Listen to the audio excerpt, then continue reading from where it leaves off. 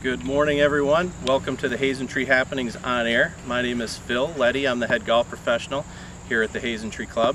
We're so excited about our new putting surfaces. Grand opening this Labor Day weekend. I wanted to talk to you a little bit about the playing of how the ball is going to roll out, uh, maybe some of the differences that you may witness playing on the new Bermuda turf versus bent. So we're certainly uh, in the growing stage still, so we're going to be top dressing the greens a little bit to make sure that the canopy is filled in and nice and smooth. So I'm going to talk to you a little bit about lag putting today.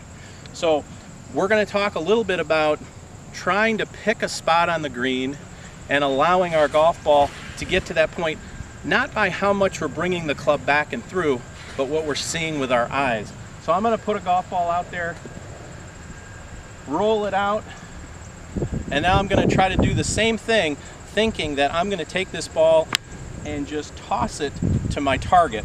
But I'm gonna do that focusing more again on what I'm seeing and less on what how far back the golf club's going back and through. So I'm gonna do all my practice strokes looking at where I'm trying to get this golf ball to end up. So now let's see if we can stay focused on our target and then stroke it down to our intended target line. So again, you might not make a lot of putts from this distance, but we certainly want to make sure that we're allowing the golf ball to get to a distance that we can tap it in. Thank you very much. If you have any questions, please stop by the golf shop. We'll be happy to answer it for you. Have a great day.